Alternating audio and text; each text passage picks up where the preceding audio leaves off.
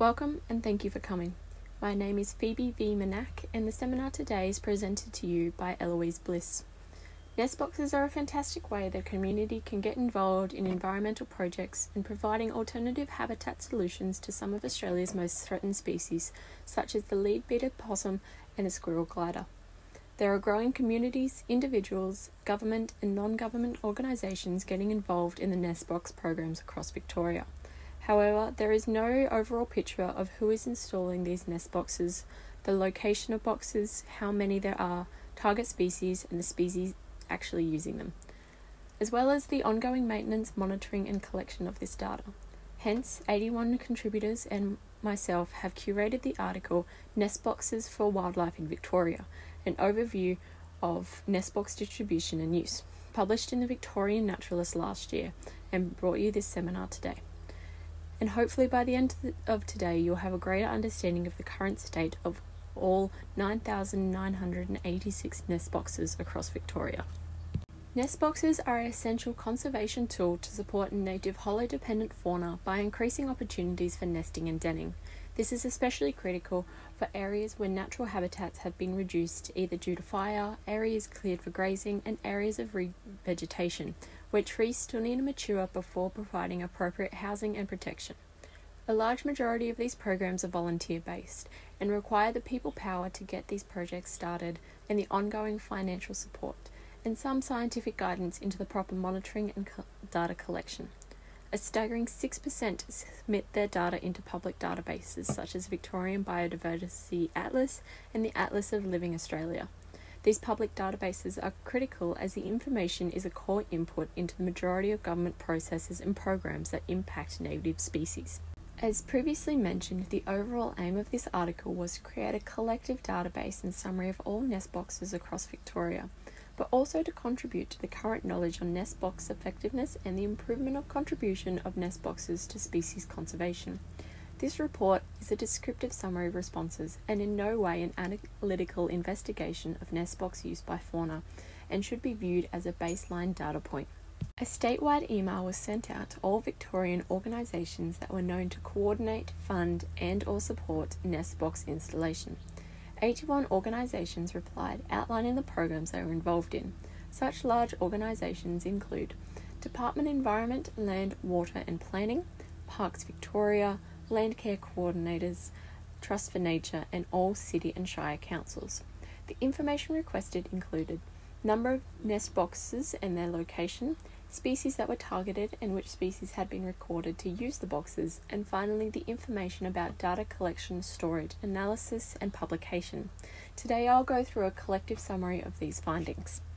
Firstly, I wish to define a program as a group of nest boxes, as many organisations and individuals involved in these programs would often install many boxes at a time. A total of 98 programs represent over 9,900 individual nest boxes across Victoria. 72% of those boxes are community based conservation and environmental groups. Interestingly, Guide Dogs Victoria was the only non environmental group to install nest boxes. Conservation Management Network Group established the largest number of nest boxes in a single program, who installed 1,100 boxes. The Field Naturalists Club of Victoria for the Brushtail Phascogale installed the first boxes over 20 years ago in 1998. Across Victoria, the highest density of nest boxes is in central Victoria around the Mount Alexander, Mount Macedon ranges, and the Mitchell Shires, as well as in the northeastern corner around the townships of Benalla and Wodonga. Nest boxes are installed on private properties, state forests, national parks, and urban parklands. 80% of all locations had between 1 and 160 boxes in each area, and 18 sites had over 200 boxes. After the devastation of numerous bushfires in the past five years, there has been an increase by local communities to install nest boxes to support native fauna. It was reported that 89% of nest boxes were being used, and 73 programs had a particular species in mind when planning and installing, most commonly the brush-tail phascogale, sugar gliders, and possums in general. The data didn't specify how many species were in each box, but rather how many species were in each program. As we can see from the table, the most common species were sugar glider possums. European honeybees were the most invasive species and were found in 33 of the programs. This means that they surpass the number of bush-tailed phascogales, which is considered a vulnerable species. From the table, we can also see that most of the boxes are being used by native and threatened species, as this is the whole aim of the project. However, there are some incidences where introduced and invasive species are using these boxes. There are some cases where the infestation can be so severe, removal of the boxes is necessary. There are several ways that this issue be- could be overcome regular maintenance, scientific input, and the adjusting of nest box design. Formal and regular checks are essential for general maintenance to check for infestation and create a reliable data set. 39% were checked less than one year since installation, and 5% were not checked at all. Many of these groups are run by volunteers, and more often than not, these organisations lack both time and resources. This image indicates an arborist who performs checks on boxes. However, hiring men such as this one can be expensive if no one in the community is comfortable getting on high ladders. Even if monitoring was complete, many were still unclear about what details to monitor and how to store the data. It is for this reason that some scientific mentoring could be beneficial to these local community groups. To accurately and correctly collect data is critical for scientific research, and the communication of this data is even more so. Each organisation and community group has their own way of communicating this information with the public, such as local newsletters, articles, and some appearing in peer reviewed literature and journals. So, for only 6% of that data to be published on public databases, on databases that the government use for making important environmental decisions, is extremely worrying. For some groups, they expressed plans to do so, but many were not in the position as they had incomplete monitoring, data collection, or they found the whole process to be too tedious. Another way that environmental scientists can be involved is through consultation, as one individual party saw the advice of an ecological consultant for the best location of a nest box placement. Students at university were often used to help with surveying of areas as well. Community involvement is a huge part of these projects, and often men's sheds are used in the construction of these boxes. General plans can be found all over the internet.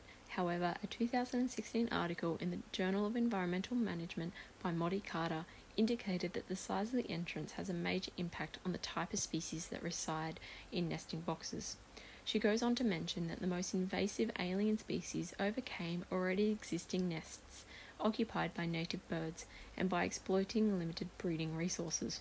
Therefore, further scientific advice and consultation would be beneficial to small local environmental groups as a way to specifically target native species. To summarise today's presentation, nest boxes are a simple way to provide habitat for native fauna in areas where natural tree hollows are limited. Local community groups are a huge contributor to nest box installation and involve a wide variety of group types from the incorporated or organisation affiliated groups to local environmental groups. Although the idea seems simple and effective, nest boxes can house invasive species that damage the local fauna. There are also a few questions that this study raises and remain unanswered. Does the use of nest box by individual animals have benefit for the whole population? The factors that most strongly influence use by native fauna and if the increase in nest box by common species is this a detriment to less common species? The cooperation between scientists and community groups is needed to obtain greater insight from the current activities. I propose a statewide standard in regards to the monitoring and collection of data with the input from scientific bodies which are easy to maintain and cost effective. The collection and analysis of this data can start to answer some of these critical questions and can dramatically assist in the conservation of some of Australia's most threatened species. Thank you.